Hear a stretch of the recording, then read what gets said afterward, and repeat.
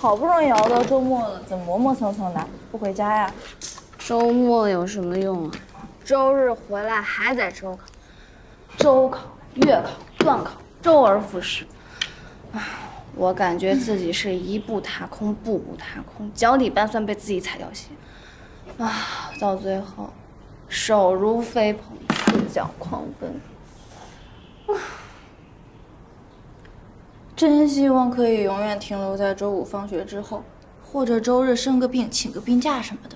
就算只能逃过一场考试，也至少能有片刻的喘息时间啊。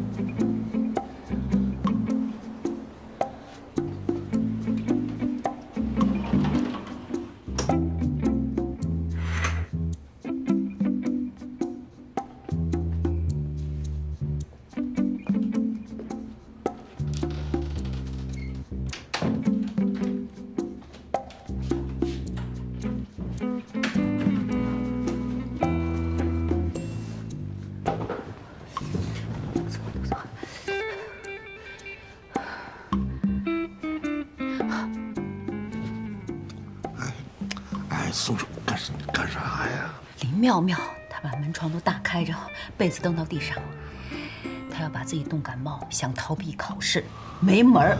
就算拿担架抬，我也要把抬去考。哎呀，用不着这么紧张，小孩子纯阳之体，冻冻没事儿。没关系，大冬天穿堂风，能把脸吹歪了。小姑娘歪嘴好看。嗯，别再心急了，乖乖，躺睡觉，睡觉，睡觉，躺。生气。睡不着，睡不着，闭着眼想。好冷啊，冻死我了。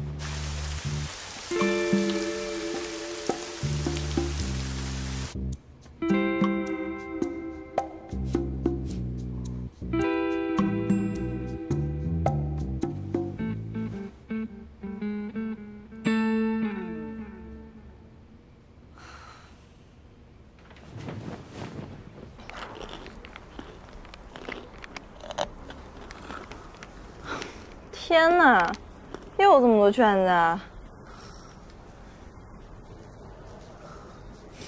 面对每周一考，我都习惯了。哎，小七，嗯，面对我妈的每周一问，我总结出一套打法，你想不想知道？说说看。我称之为学生应对家长盘查成绩之技巧性回答。首先。千万不要等他们问，一定要主动汇报。你一主动，在心理上就占了优势。真的？真的。其次，汇报顺序也很重要，坚持打一个巴掌给一个甜枣的原则。Understand？哎呀妈！母亲大人，我这周考的又很混蛋，你想打就打吧。一个好消息，一个坏消息，你想先听哪个？好消息，语文一百三十七，数学呢？七十六。总分一百五，七十六还是不及格。但是我英语考得好呀，多少分？一百三十二。物理呢？十九。但是吧，我历史这次考了八十一，这俩加一块正好一百，完美。十九。一定要嬉皮笑脸，务必一门文科加划一门理科。节奏，节奏很重要。面对忽高忽低的成绩，让父母的心情像坐过山车似的忽上忽下，他们就招架不住。我非常同情你妈，你不懂。其实在我笑脸背后，隐藏的是深深的沮丧和愧疚。我就用这种吊儿郎当的方式，才能掩盖我心中的那种心虚和歉意。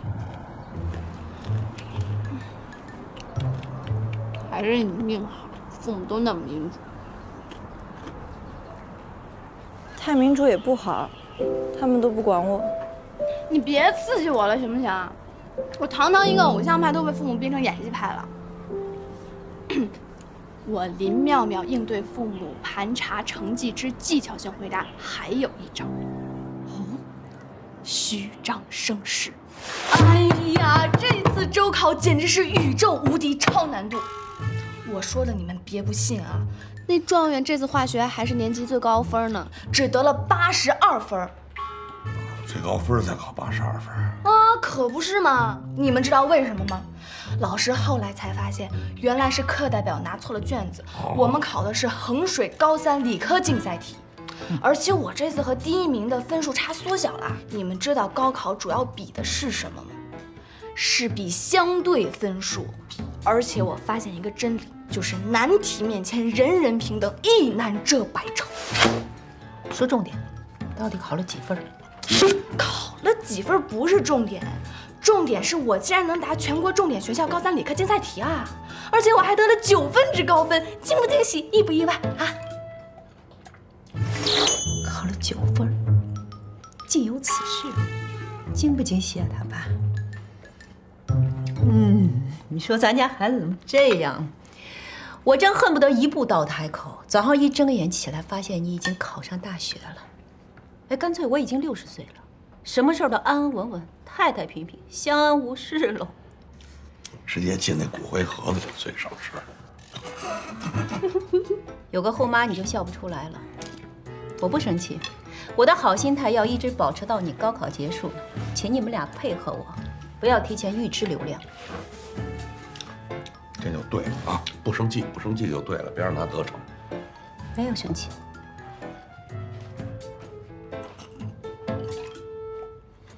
九分，你还好意思我抽你？可怜了我的爹，常年沦为我的扛推位。可是有什么办法呢？谁让他摊上我这么闺女？他老婆还非逼我学理。我就一直觉得吧，在宇宙间存在一个文科星球，我就是从那坠落人间的天使。我觉得也是，我也是文科星球的，咱们是亲戚。嗯，你文科又不好。哎我哎，你是艺术星球，我们是邻居。早知人间如此疾苦，我们当初就不应该下凡。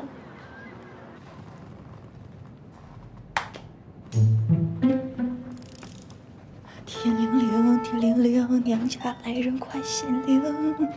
愚蠢的人类，等我们联络上母星，你们就完蛋了。我给母星两个备选方案：终极任务是攻占地球，初级目标是攻占食堂。红烧肘子焖猪蹄必须天天有。咱们这样有用没用？必须有用啊！他们只是拜大神术，我们等于上了双层保险。继续拜。天灵。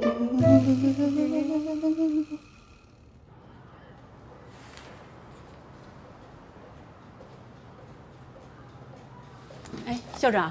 啊，兰老师，啊，我找唐老师说点事儿。哦，行，那你忙。嗯，我去打个水去。哎，校长，唐老师啊，哎呀，你这个人啊，平时看起来无欲无求，其实你还是有野心的。校长，这话从何谈起啊？其实我是说，你内心里还是有追求的嘛。哎呦呦呦，别紧张，坐坐坐坐。唐老师，我有个想法，我想啊，让你带高二的文科班，怎么样？校长，我现在带的是毕业班呢。你又不是班主任，你只是带带历史课。我现在需要的是一个得力的班主任，来带这个高二的文科班。哎呀，我是想来想去就想到了你，觉得你最合适。有没有信心把这个班带成标本班？我可是把市里的状元生都给你们挖来了，你还要怎么样啊？那这个状元生选文还是选理啊？这我就不知道了。这你你自己就可以去争取嘛。是啊。要是这个状元生能来到这个班，那还有点意思。我说你有野心吧？啊，太功利了。行，别让我失望啊！放心，行行行，你忙吧。嗯。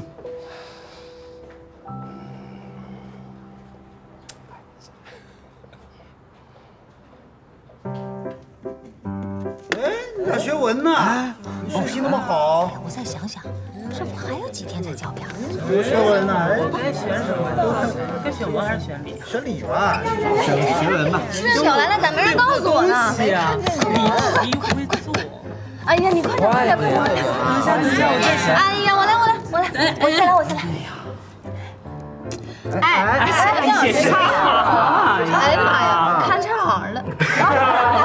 哎，正经正经正经，我们俩都商量好了，都学文。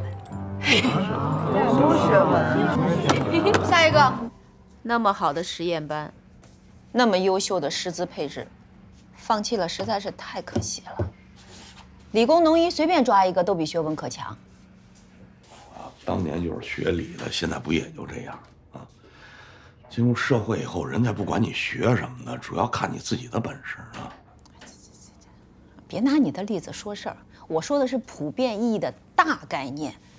理科比文科好考，理科就业的机会比文科多得多，也好得多。大概念就是学文科安全啊。你看社会上这些学生投毒案，基本上都是学理科的吧？文科顶多就是写个文章，互相骂，骂不死人哟。嗯，我最烦你这点了，总能找到理由来说服自己。你听不出我在劝你吗？已经学文了，你就接受这个事实吧，别再钻牛角尖了啊！不，我有病啊！我学理，我学文。学文，都是学不了理科的才学文呢。哎，你说对了，理科真不是人学的。你说对不对，小七？多少帅哥熬成了赵荣宝，多少萝莉变成了祥林嫂。小七，你让一让。干嘛呀，神神叨叨的。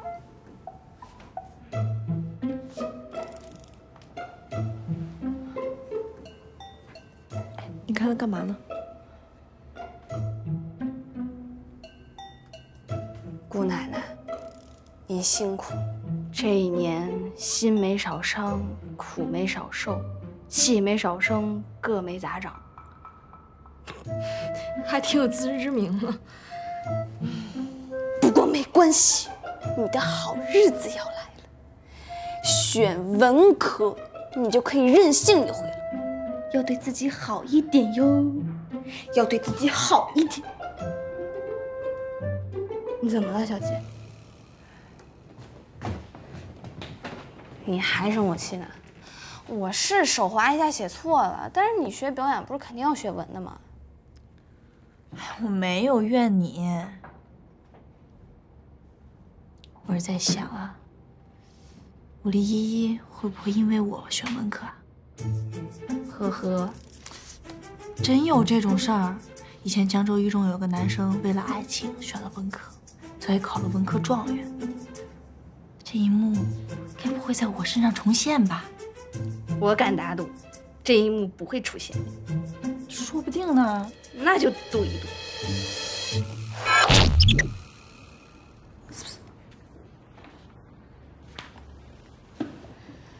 请问一下，你是学文还是学理呀？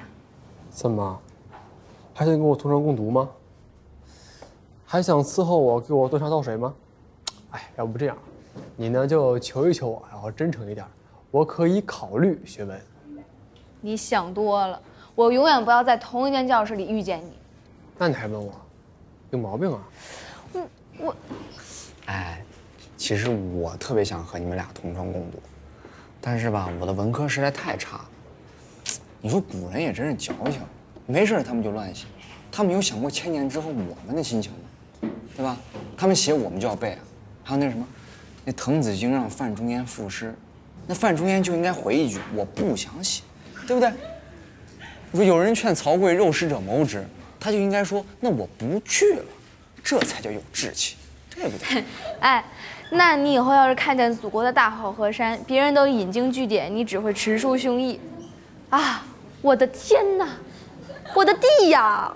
我的个乖乖龙洞桥！对啊，耗子，就你这文化水平，你连情书都写不好。谁说的？我现在就赋诗一首送给你。来呀！等等呀。曹植还有七步。二三，这步不算啊。四五六七七。我喜欢你，如同散一方加口散一方，始终如一。怎么样？怎么样？我说你活该单身狗！你写这种东西给文科女，谁看懂呀？你直接写我喜欢你算了。情书你就得写的文艺一点，要吟风送月，虚实结合，对吧？那种以情动人。你别老说我，那你来一个呀？不用我，小七上。嗯，我喜欢你，像云追着风，不问所起。小七，你真的你，你就是，你刚把我就是那种心里想说但是说不出来那种那些话，你真的你全都说出来了。你能把这首诗送给我？对不起啊，这首不是写给你的。哎，我送你一首更好的。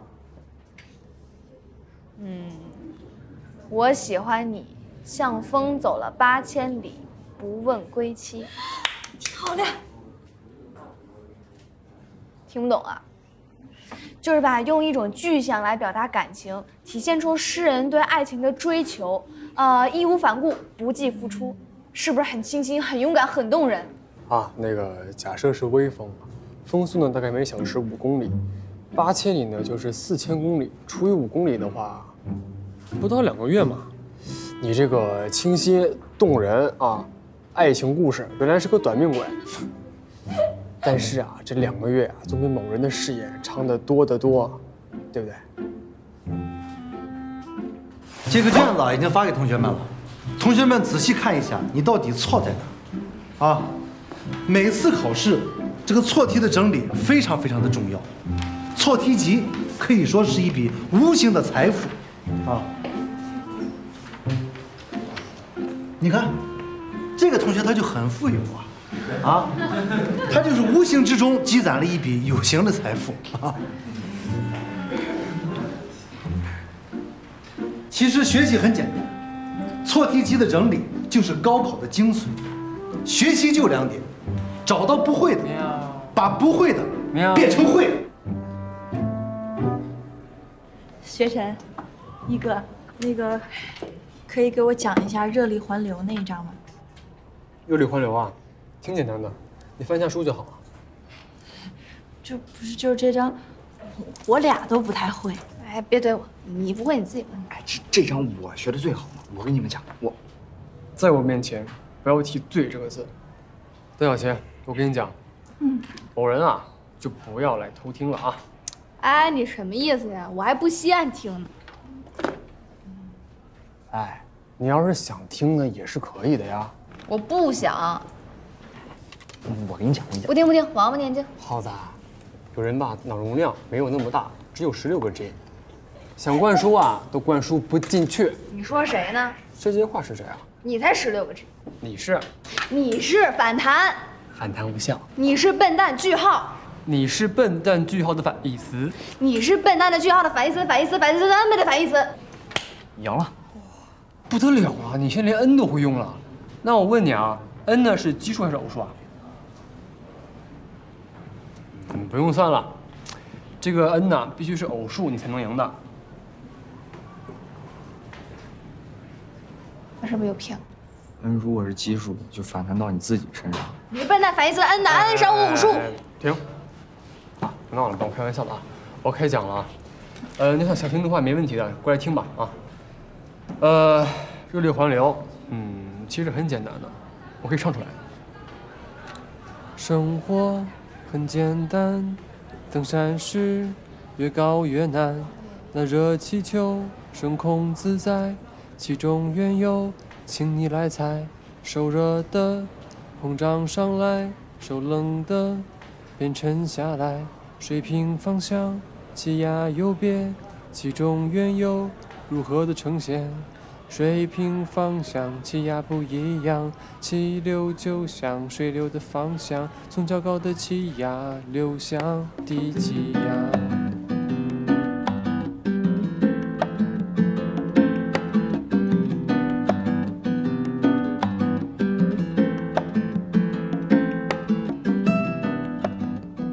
啊，三爷，太帅了！你怎么唱歌也唱得那么好听啊？其实还好吧，可能随我妈妈了。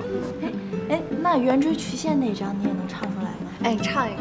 随便挑一首歌，我来填词。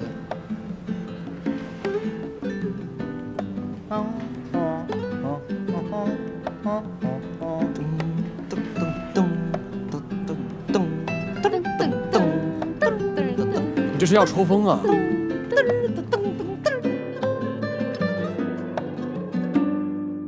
你太不认真了吧！我一旁听生都过了，你怎么没过？我就是听得太认真了。他的声音怎么可以那么好听，好酥好酥，还有他的手指那么的修长，他站在台上讲课的样子，就仿佛是舞台上的 super star。嗯，他的眼睛那么一扫，嘴那么一抿，哎呦，迷死人了！还有他的睫毛怎么可以那么的长啊？不可以架一支铅笔，比我的还长。长在男生的脸上，还真是浪费呢。哎哎哎，别动！看好你这个表情，记住它。你现在哪有一点女神的样子？明明就是个女屌丝。哎，你不会真喜欢那货吧？我就是很好奇，他一个男生，为什么身上却有一股奇香？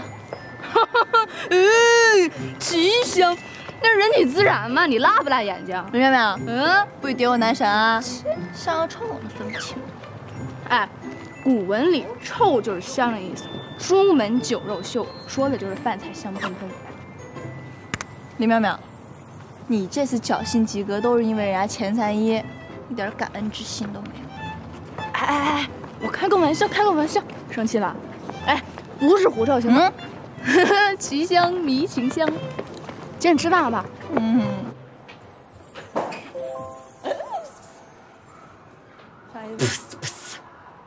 道歉。干嘛？嘛？过来。给拿着。这是。哦，这个杀手不太冷。不是，你听过后天性血症症候群没？后天性学者？你你好污啊！你整天脑子在想些什么呀？你怎么的，玩具人？你会不会啊？后天性学者，就是一闷棍子打出来的天才。国际上有个先例，有一名中年男子遭遇到持枪抢劫，然后呢就在头那儿遭了一棍子，之后醒来他就发现自己变成了数学天才。我上网查了，他是打的左边，你就拿这个穿我这儿，你就拉一下，等会儿上。来呀！你快点使劲啊，一下到位啊！妙妙，我听说雷劈也管用，要不你试试那个？这是我终极大法了，你帮我帮我，马上就要期末考试了。啊，我还有一个办法，可可以让你免受皮肉之苦。注意卷面整洁。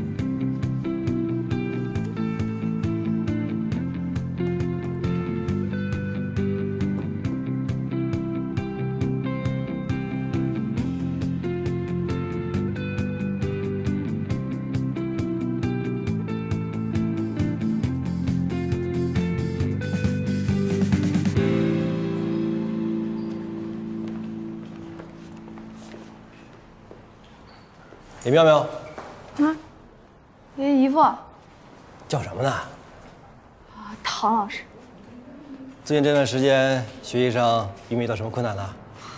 实验班里处处是困难，我这盼星星盼月亮，想赶紧分到你文科班去。快了，快了。不过呀，在实验班的最后一个月，可不能懈怠啊。你妈可天天给我挂电话，打探情报呢。我知道，哦，对了，把你们班的钱三一同学叫出来，我跟他聊聊。你跟他聊什么呀？问那么多呢？哎，别让你们赵老师知道。啊。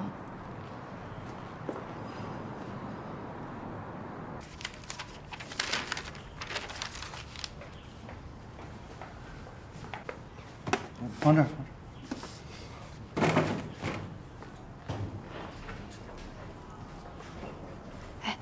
唐老师叫你过去一趟，哪个唐老师？就是要带文科班的那个唐老师，千万别告诉老赵。报告，李妙妙说唐老师找我，去吧。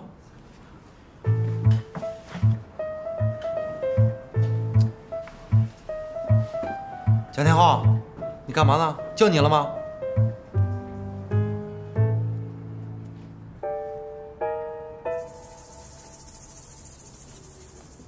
钱三姨啊，你看看咱们国家领导人，学的都是什么方向？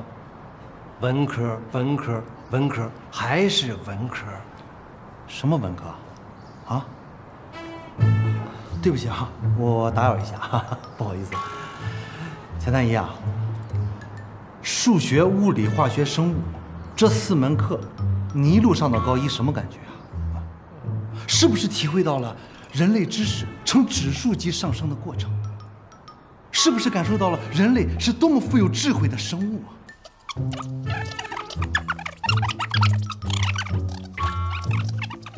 呃，赵老师说的非常有道理。但是三姨啊，毕竟你们钱家自唐五代十国开始，平均每两年出现一个优秀人物。哦呦啊！你数理化学的再好，也不能数典忘祖啊。中古时代不论，近代史上钱氏家族人才井喷，一位诺贝尔奖，两位外交家，三位科学家，四位国学大师，还有十八位两院院士。中华百家姓上下五千年，谁人能出其右？钱三一，你应该跪着上我的历史课。你们钱家老祖宗隔三差五就闪亮登场一回，值得你献上无数个膝盖。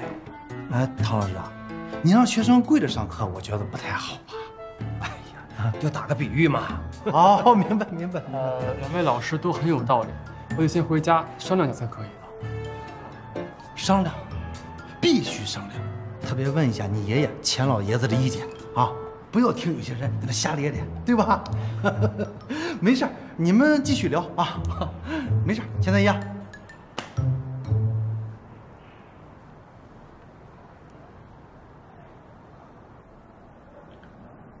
唐老师，咱还聊吗？我们钱家向来是有科学报国的传统。是啊，一爷，你爷爷啊，原来是震旦大学建筑系的高材生，你爸爸我呢是复旦大学工程系的高材生，所以啊，你真是得报理科，咱们家有这基因啊。哼，你是毕业于名牌大学，但最终，你还不是成了钱不离口的商人。好了，不提也罢了。爸，你这孩子在这儿，你能不能给我点面子？哦，三姨啊，当初呢，你爸五行缺金，爷爷就给他起了个名字叫钱玉坤。哪儿成想啊，他长大成人了以后，视财如命。到了你这儿，爷爷就特意的用《道德经》里边的“一生二，二生三，三生万物”的“一三”转成了“三一”，意思希望万事万物回归于道，让你把你爸爸跑偏的路给修正回来。毕竟我们钱家是看重文化的。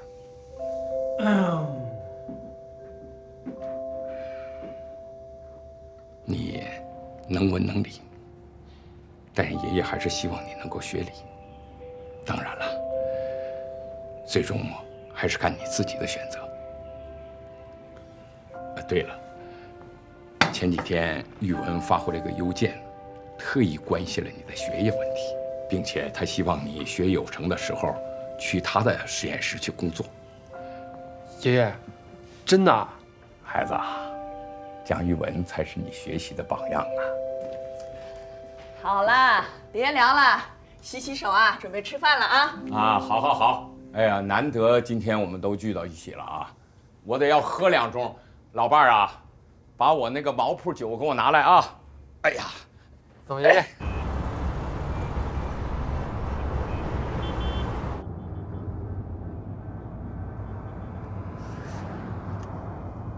呃，渴不渴？后面有水啊。不可。哦，对了，学校附近的房子住的怎么样？还行吗？啊，挺好。还有什么需要的吗？不缺。阿姨，要不我给你买一山地车吧？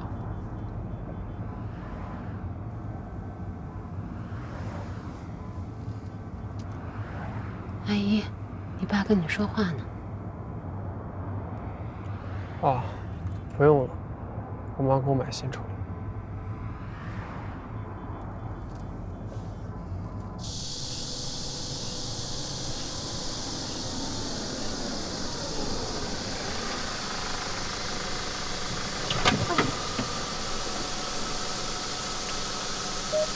哎，裴爷，我刚才看了，那路过有两个挺高端的小区，那离学校也近，你干嘛不租啊？是不没钱啊？你要缺钱，你说话。不缺。不，你能不能别老那么无欲无求的样子？还有别的事儿吗？不是，你说你放着家里豪宅不住，你我走了。走吧，依依。来，依依，依依，你等一下。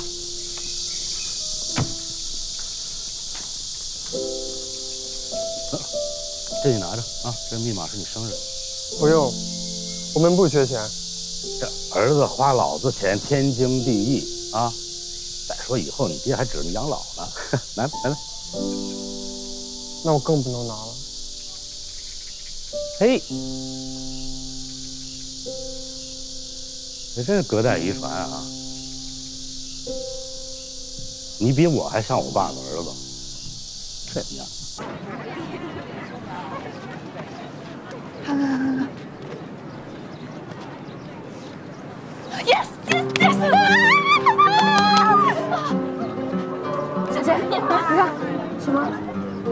谢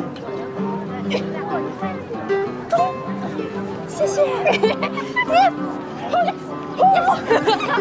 走，带，你飞。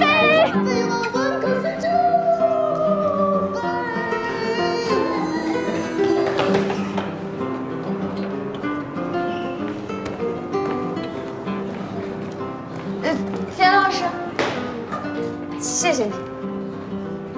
我是看你文科成绩那么好，不忍心看你流落到普通班。谢谢您栽培。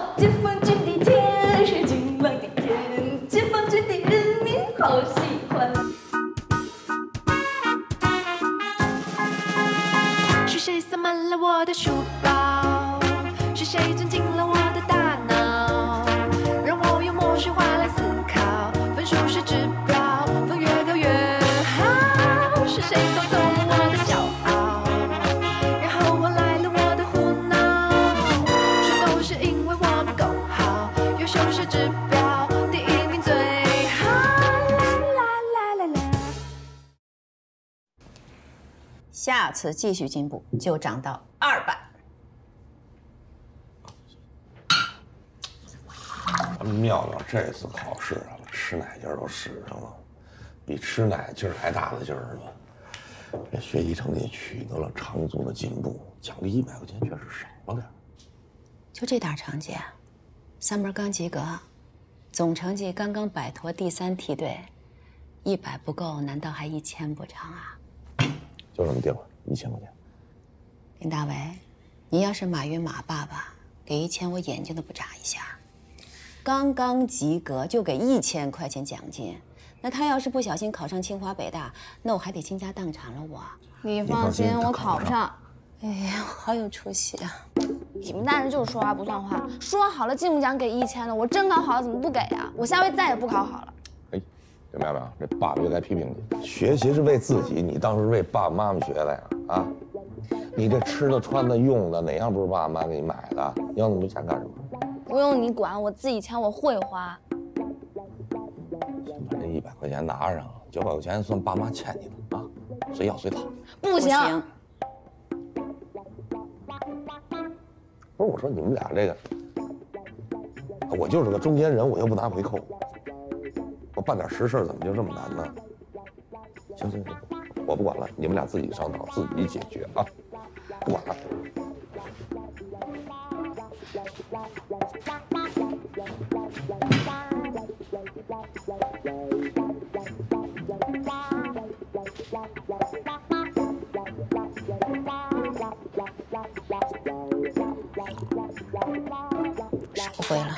哎呦，说话不算话。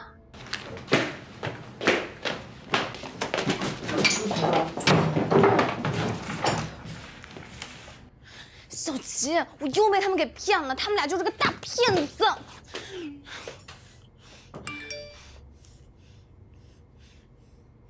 骗子！稍安勿躁，妈跟你分析一下。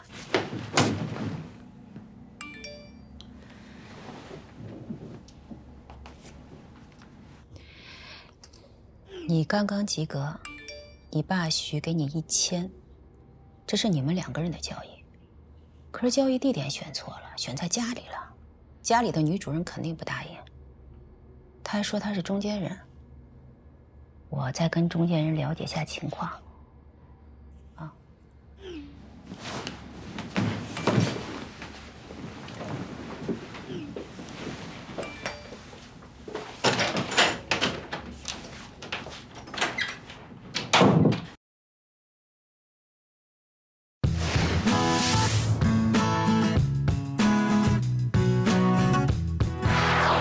你们好，我叫林妙妙，是一名高中生。嗯，升入高中以后吧，我发现成绩、考试像家常便饭一样的存在。从月考到期中考，从会考到高考，大大小小的考试让我们习惯了见面先问你考多少分儿。分数高呢，自己开心，家长也高兴；要是分数低，不等老师找我们谈话，就得先被父母教育一顿。他们认为卷面成绩代表了一切，可是他们不知道，考得不好，我们自己心里也很懊恼。